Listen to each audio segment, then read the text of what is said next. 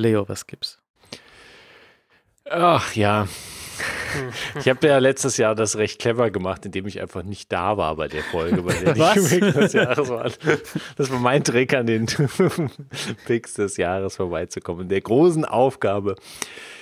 Also mein Pick des Jahres wird ein, ein Pick, den ich auch als normalen Pick, glaube ich, dieses, also das ziemlich sicher auch dieses Jahr hatte. Ich weiß nicht mehr genau, wann ich das gepickt habe, nämlich eine App, die auch in erster Linie darauf aufbaut, dass man eine Apple Watch hat und die letztlich eine mehrere Funktionen nachliefern, die die Apple Watch selbst halt nicht hat, wo wir jetzt sehr stark natürlich in den Gesundheits- und Sportbereich reinkommen und halt diese schöne große Datensammlung, die die Apple Watch eben anfertigt oder überhaupt Smartwatches inzwischen ja in der Lage sind anzufertigen, halt sinnvoll auswertet, was mir einfach Apple ähm, im Moment mit Bordmitteln viel zu wenig macht. Ich meine, man kann sich durch die Health App äh, wursteln, das kennen wir alle und da kann man natürlich auch sich Sachen rausziehen an Informationen.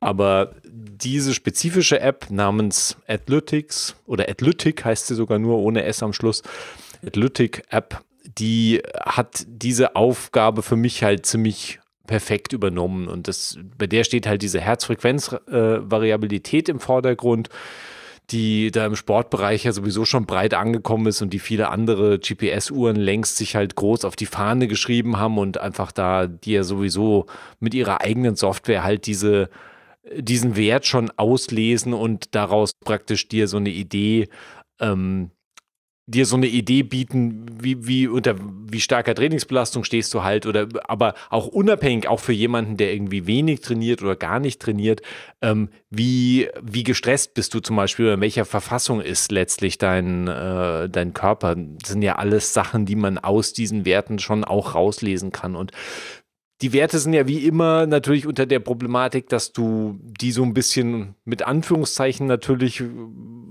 auffassen musst, weil Messfehler, glaube ich, kann man bei der Apple Watch auch immer mal oder überhaupt bei Messungen am Handgelenk, musst du immer irgendwo mit Messfehlern rechnen und musst mit rechnen, dass vielleicht irgendwas von den, von diesen puren Werten auch nicht so hundertprozentig der Realität oder nicht irgendwie einer klinischen Messung entsprechen würde. Aber du hast ähm, du bekommst natürlich trotzdem, wenn du sehr lange Werte aufzeichnest, hast du ja auf jeden Fall eben einen sehr großen Pulk an Daten, aus denen du lesen kannst und aus dem du vor allem Veränderungen ablesen kannst, langfristige Veränderungen. Und ich glaube, da liegt natürlich das Spannende. Und das macht halt Athletics auch so. Also ich sage immer Athletics, aber er heißt nur Athletic ohne dieses S. Macht das natürlich auch, dass du halt ein bisschen den Rückblick hast auf die vorausgehenden Wochen, also einen kleinen Blick auch zurück und eben auch solche Trendkurven und Entwicklungskurven, die nicht nur spezifisch eben auf Sport ausgelegt sind, sondern auch äh, die Gesundheitsdaten halt mit berücksichtigen, die halt die Watch sowieso erfasst. Und das ist halt die Ruheherzfrequenz natürlich als ein Hauptpunkt und es ist die Atemfrequenz beim Schlafen, wenn man natürlich mit der Watch Schlaftracking macht. Das ist eine Blut, Blutsauerstoffsättigung, die wie gesagt unter Vorbehalt, weil die Werte, die halt die Apple Watch ausspuckt, sind halt die Werte, die die Apple Watch ausspuckt. Und die Temperatur am Handgelenk, die auch ja nur beim Schlaf gemessen wird, aber die auch einen ganz interessanten Einblick durchaus in, in habe ich, hab ich ja früher auch schon ein paar Mal erzählt, haben wir schon öfters drüber gesprochen, in Infekte geben kann meistens aber eher nachhinein betrachtet, dass du halt siehst, wann sich der Infekt vielleicht dann wieder aus deinem Körper auch langsam verabschiedet hat. Aber es, insgesamt ist es tatsächlich für mich so ein unverzichtbares Stück Software geworden, gefühlt, um da einfach zu sehen, ähm, also nicht zu sehen, zu, es ist nicht so, dass es spuckt dir natürlich auch Punkte und Prozentwerte und so weiter aus, aber es gibt dir äh, oder mir spezifisch gesagt, halt das Gefühl, tatsächlich ein bisschen tieferen Einblick in äh, in meinen Körper zu bekommen, in verschiedene Werte sozusagen zu bekommen, auch in gesundheitliche Faktoren zu bekommen und äh, das alles natürlich mit dem Idee, mit der Idee, also ich meine, das schwingt immer natürlich mit bei der ganzen Datensammlung. Da ist immer so ein Optimierungsding drunter. Also wie kannst mhm. du irgendwie alles mhm. optimieren? Und ich glaube, das ist natürlich was, was auch so ein bisschen kritisch ist oder was ich relativ kritisch sehe, weil diese Optimierungsgeschichten, die laufen auch, also die, die können auch in so eine sehr ungute Ecke abdriften. Es ist sehr schwierig, da so eine Balance zu finden, dass man das also auf der einen Seite alles mitlockt und dann halt sich eben aus den Daten auch was rausziehen will und natürlich vielleicht auch Optimierungspotenzial bei irgendwas sieht. Aber das darf natürlich auch nicht zum Selbstzweck werden, dass du halt nur noch diesen, diesen Daten, deinen Körperdaten irgendwie dich unterwirfst oder den Daten, die diese Apps dann halt da rausziehen und, ähm, und dann halt alle Entscheidungen irgendwie davon abhängig machst. Aber ich finde sie halt eine gute zusätzliche Stütze. Sie sind äh, für, für mich informativ. Ich empfinde es als hilfreich ähm, das auch zu sehen. Ich finde es äh, hilfreich, diese Trendkurven zu haben und das halt auch mit dem persönlichen Körpergefühl halt abzugleichen und dann halt zu überlegen, gerade wenn du jetzt irgendwie Training natürlich auch einbaust, was das halt für dein Training bedeutet oder wenn du das unabhängig vom Training benutzt, jetzt zum Beispiel, was das halt für deine Gesundheit bedeutet und wie sich halt verschiedene Faktoren, du kannst halt ja auch ähm, du kannst ja in Athletics zum Beispiel auch mit verschiedenen Tags solche Geschichten halt tracken, wie, wie wirkt sich halt äh, aus, wenn ich nachmittags und abends Kaffee trinke? Wie wirkt, wirkt sich das auf meinen Schlaf aus? Wie wirkt sich aus, wenn ich abends Alkohol trinke? Wie wirkt sich das auf meinen Schlaf auf? Und natürlich auf all diese anderen Körperwerte, die halt die Watch auch erfasst. Und das ist natürlich was, was durchaus auf einer Langzeitbetrachtung sehr interessant sein kann und vielleicht dabei helfen kann, halt bestimmte Gewohnheiten zu ändern, wenn man sie denn ändern möchte. Mhm. Ja, weil ich glaube, da, da muss natürlich dann jeder am Schluss für sich selbst äh, wissen, was er will. Und gar nicht so sehr jetzt, um sich da irgendwie zum Jahresanfang irgendwie große, ja, die, die, ja, die tollen, ja. die tollen Neujahrs, äh, die tollen Neujahrsvorsätze äh, zu machen, die, die irgendwie Quatsch sind und sowieso äh, umschlagen. Aber diese Geschichte, und äh, Timo, du hast das, glaube ich, auch letztens bei der, bei der Sprechkabine gesagt, diese Idee, irgendwie möglichst Daten zu sammeln und dann jetzt eben die, die zu haben und aus diesen Daten mhm. sich, sich Sachen, Informationen rauszuziehen. Und äh, das, das ist was, was unglaublich mächtig ist und was natürlich was ist, wo, wo wir irgendwie vom von der Idee her schon so lange daran rumdoktoren, insgesamt so, also in der, für Leute, die irgendwie Technik begeistert sind und Gadget begeistert sind, das ist ja so eine, ist ja so ein ganz altes Konzept eigentlich, irgendwie alles halt aufzuzeichnen und dann auszuwerten. Aber jetzt langsam, so habe ich das Gefühl, dass wir an der Schwelle sind, wo das wirklich auch sinnvoll wird und halt nicht nur so ein Selbstzweck ist. Also zum Beispiel, ich hatte ja letztes Jahr auch gesagt, ähm, mit, der, mit den Heiz, äh, Heizkosten mhm. und mit, mit den Temperatursensoren im ganzen Haus, Mhm. Ich habe mit den Temperatursensoren erst verstehen können, wie diese Heizung hier funktioniert. Weil die hat, die, in der, der, der Standardeinstellung hat die nur Sinn gemacht, wenn Gas sehr billig ist. Mhm. Wenn mhm. Gas teuer wird, dann war die halt völliger Murks. Ja? Mhm. Und ähm, die, die, die Einstellung, weiß nicht, ob der, der, der Heizungsmonteur die da so eingestellt hat, weil er die schon immer so eingestellt hat. Das haben wir schon immer so gemacht. Vermutlich. Und ähm, das durch, durch Betrachten dieser Daten hat sich dann eben ergeben, wie ich das optimieren kann. Und wenn das ja. mein eigenes Haus wäre, dann würde ich da noch mehr optimieren und würde dann auch die Thermostate und das ganze Zeug tauschen und sowas. Da wäre dann noch mehr rauszuholen, ohne dass halt ein wesentlicher äh, Verlust von Komfort entsteht. Ja? Mhm. Ich habe auch bei der letzten Sprechkabine ich vergessen, das Studio zu heizen und dann war der Komfort nicht besonders hoch. Ja, das hörte sich etwas frostig an. Und ähm, Nee, das ist auch für, für andere Sachen. Ich habe ja dieses Jahr auch diesen, diesen äh, Stromzähler äh, einbauen lassen in, in den äh, Zählerschrank hier und habe jetzt eine bessere Übersicht über den Stromverbrauch. Ich habe noch nicht ich, ich habe mir das jetzt auch ein paar Monate laufen lassen, um jetzt mal ein paar Monate detaillierte Daten zu haben und dann reinschauen zu können. Und also natürlich sowas Offensichtliches wie das Elektroauto ist weg, das werde ich jetzt, hätte ich auch so gemerkt, ja. Mhm, mhm. Aber äh, die anderen Sachen sind vielleicht auch noch ähm, zu optimieren und dann eben genau zu, zu gucken, wo ist mein Stromfresser. Ich habe da jetzt, ich habe da schon jemanden im Verdacht. Ein, ich bin's nicht. Ein Gerät. Puh. Aber ähm, das, das mache ich dann äh, im Detail nochmal wann anders. Aber die, ähm, und mein Pick geht auch gleich noch in die Richtung. Ah, okay. Mhm.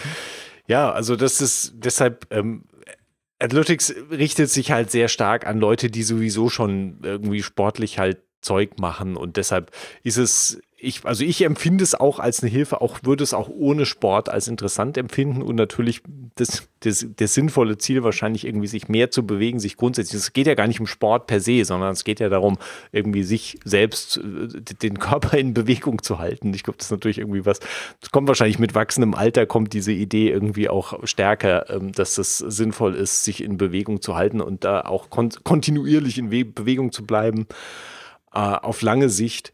Und das ist einfach eine App, die mir dabei äh, hilft, weil sie halt einen zusätzlichen, zusätzlichen Einblick gibt, den ich interessant finde. Und ähm, ich glaube, das das ist was, was äh, auch, also ich meine, die Adlytic kostet ja zum Beispiel, das kostet es auch, ist halt eine Abo-App, wie so viele andere Apps inzwischen auch und kostet irgendwie 30 oder 32 Euro, glaube mhm. ich, kostet sie im Jahr.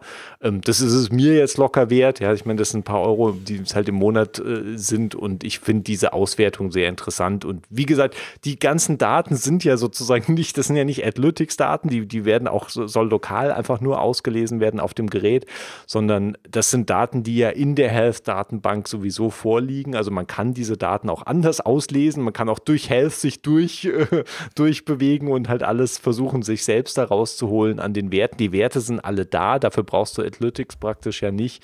Aber durch diese zusätzliche, Alex, du hattest ja auch letztens dieses, äh, dieses schöne Widget von das Health, Health Fit, Fit ja. gezeigt, was sozusagen diese Trainings in, in welchem, da, welchem äh, Trainings, also Belastung, Langzeitbelastung und Kurzzeitbelastung mhm. praktisch ins Verhältnis stellt und dir dann sagt, trainierst du praktisch zu, Entschuldigung, trainierst du praktisch zu viel, trainierst du zu wenig oder trainierst du so, dass es halt relativ optimal ist zwischen halt, äh, dass du Fortschritte machst, aber zugleich dein Verletzungsrisiko halt möglichst gering ist. Und ähm, das ist, glaube ich, ist einfach interessant, solche Werte auch simpel dann runtergebrochen zu haben, sodass man sich sagen. nicht irgendwie in, weil ich bin auch jemand, der Schwierigkeiten hat mit Trainingsplänen und so weiter. Ähm, dass, dass man dann, dass man so ein einfaches Element am Schluss hat, was einfach einem, ja, so ein, das da sind wir wieder bei diesem Dashboard, was einem anzeigt, in welchem Zustand der Körper halt ist und was, was man halt irgendwie machen kann ähm, weil, weil, weil, machen also, sollte. Um, um das nochmal, also ich habe mich auch mit der Trainingsbelastung äh, auseinandergesetzt letzte Woche und geguckt, in welchen Apps das drin ist. Beispielsweise mhm. in deiner äh, jetzt gepickten, mhm. aber auch Health Filters hat das eingebaut.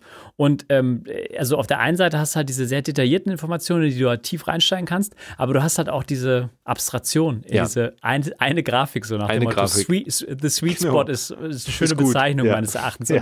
Das ist halt was anderes, oder für mich hat das jetzt den letzten man muss Wochen sagen, weil das erst ab Anfang Dezember in Health Fit, glaube ich, drin ist, ähm, mhm. hat das einen anderen Blick nochmal auf, auf, auf Fitness gegeben, weil ich hatte halt vorher, ich habe halt immer noch die Ringe. Die Ringe kann man schließen, ja, auf der Apple Watch, dann hast du auch Bewegung. Aber die Ringe setzen sich natürlich sehr unterschiedlich zusammen, ja. Also die, die können dadurch, dadurch einfach zusammengesetzt werden, indem du zur Arbeit gehst und wieder von der Arbeit kommst und so weiter. Aber die, die Trainingsbelastung, die, da fließt halt mehr ein, aber du hast trotzdem diese simple Grafik. Ja. So nach dem Motto, soll, solltest du laufen gehen für mich, ja, oder solltest du nicht laufen gehen?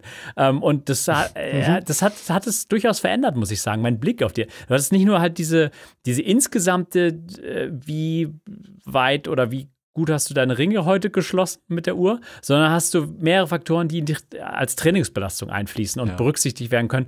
Aber du musst halt nicht unbedingt abtauchen die Daten, wenn du es nicht unbedingt möchtest. Und ähm, ja, es sind nur so ein paar Apps, die das machen. Also ja, du hattest, also du checkst da wahrscheinlich tiefer drin im Thema als ich. Also es scheint an Bedeutung zu gewinnen, aber die Anzahl der Apps, in denen das wirklich so einfach aufgelistet ist, die ist noch die ist beschränkt. Wenig, ja. Also es ist noch hm. nicht irgendwie so komplett weit verbreitet. Und ähm, man stößt da wahrscheinlich auch nicht drüber, weil die, die von dir gepickt habt, also äh, da brauchst du schon die Pro-Variante, ja. oder? Die, die ja. normale, die macht jetzt nicht irgendwie, also die ist jetzt nicht irgendwie äh, ist wahrscheinlich nur so ein Einblick, oder? Ja, ich habe die, glaube am Anfang ja mal ausprobiert, aber ich glaube, da bist du relativ knapp be beseelt und ich glaube auch die Komplikationen auf der Watch, da fehlt halt ein Großteil der, also du ja, musst ja. schon abonnieren, damit du da wirklich was Sinnvolles, glaube ich, rausholen kannst, aber die war schon relativ klar eingegrenzt dann von ihrer Funktionalität. Es reicht wahrscheinlich, um mal schnell reinzuschauen. Ich meine, wer sich den ganzen äh, obendrauf Krempel an Apps, Healthfit kostet ja auch nur ein paar Euro, das ist ja immer noch ein, obwohl mhm. der hat, glaube ich, inzwischen auch so ein bisschen, es tendiert schon ein bisschen in Richtung Abo, oder? Ich weiß gar nicht. Ja, aber, aber es ist so ein bisschen ein hm. Supporter-Abo. Ja. Also wenn das halt, äh, also gibt es schon andere Kartenansichten zum Beispiel, andere ja, Karten-Overlays ja, okay. und so weiter. Aber letztendlich ja. Äh, schwingt es immer noch so in diese Unterstütz mal.